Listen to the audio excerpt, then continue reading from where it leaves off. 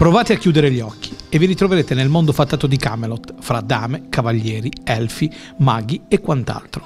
Provate a richiudere gli occhi e vi ritroverete catapultati ai giorni nostri, nella realtà delle amicizie della scuola e dei problemi vari dei ragazzi di giovane età. Mischiate tutto e incastrate bene i due mondi ed otterrete la bellissima esperienza de La vera storia di Re Artù, realizzata dal DAS di Clelia Caiati, che ha curato la direzione artistica e le coreografie delle bravissime Silvia Cuccovillo, testi e regia, e Mariangela Ruanno, vocal coach e direzione musicale. Sono quattro anni che abbiamo avviato questo corso di avviamento al musical che quindi comprende le tre discipline canto, recitazione e danza con due professionisti del settore eh, nonché insomma valendomi anche della mia esperienza artistica e professionalità.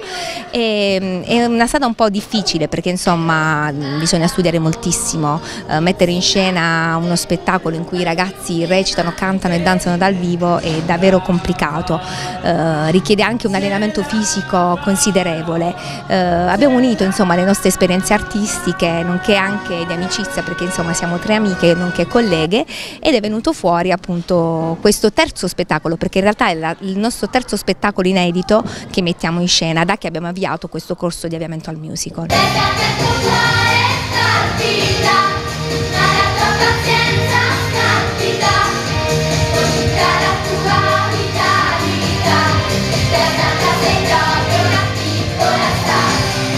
Un bellissimo gruppo di ragazzi e ragazze dagli 8 ai 18 anni che in due ore di spettacolo hanno recitato, cantato e ballato come veri professionisti in un teatro traetta con un pubblico entusiasta per le performance degli artisti sul palco. Giochi di colori, musiche e danze ben orchestrate con una recitazione che anche se rarissime volte insicura, ci sta l'emozione del palco, ricordiamolo, ha confezionato un bellissimo racconto con l'utilità sociale di spiegare il bullismo ai giorni nostri e dove i commedianti del regno di Camelot aiuteranno Bianca ad affrontare a testa alta chi l'aveva presa di mira. La tematica è nata perché quando lavoro con i ragazzi, specie di questa età, per me è fondamentale lavorare sul sogno, sulla, mm, sulla fiducia, sul, sul bello, fra virgolette.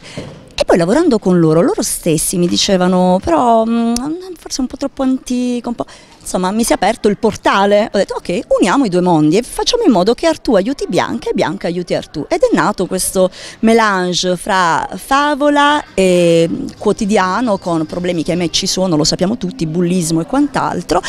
cercando di ehm, tirar fuori ehm, una positività che i ragazzi è importante che abbiano e vivano sempre, ogni giorno. E devo dire che loro sono stati splendidi, sono stati splendidi veramente mm, in tutte e tre le discipline e hanno tenuto duro con, perché ce l'hanno, questo è il bello, che alla fine non devi, una volta che hai l'idea, li fai lavorare per bene, poi loro ti danno tutto quello che puoi avere di più. Quindi non posso che essere felice di come è andata e, ehm, e sono Mm, molto contenta della scelta fatta perché loro hanno risposto bene e credo che abbiamo visto qualcosa di significativo stasera. Una dolcezza infinita nel centrare l'obiettivo, perfettamente riuscito nel lavoro svolto dalle tre insegnanti che hanno gestito tanto e bene gli attori. Dalla cattiva ma bravissima Fata Morgana, al mago Merlino, alle scarafaggine, al maniscalco e al realtù, Ginevra e Lancillotta, passando per le due bullette, la nonna e il gufetto, che poi si scoprirà bellissima ragazza a causa dell'incantesimo della maga.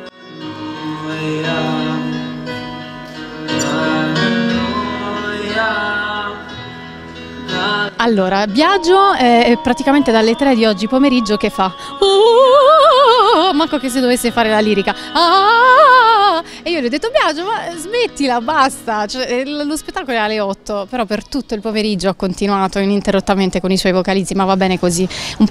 siamo un po' fissati noi cantanti per cui tutti so, mi hanno detto che sono stati coperti in questi giorni per il raffreddore quindi qualcuno è venuto già stamattina maestra ma io ho tutto raffreddato eh, la vita dei cantanti è dura. Se ve lo siete perso, peccato, ma le parole delle tre coach vi faranno capire quanta soddisfazione hanno provato nel vedere i loro ragazzi così bravi sul palco della vita.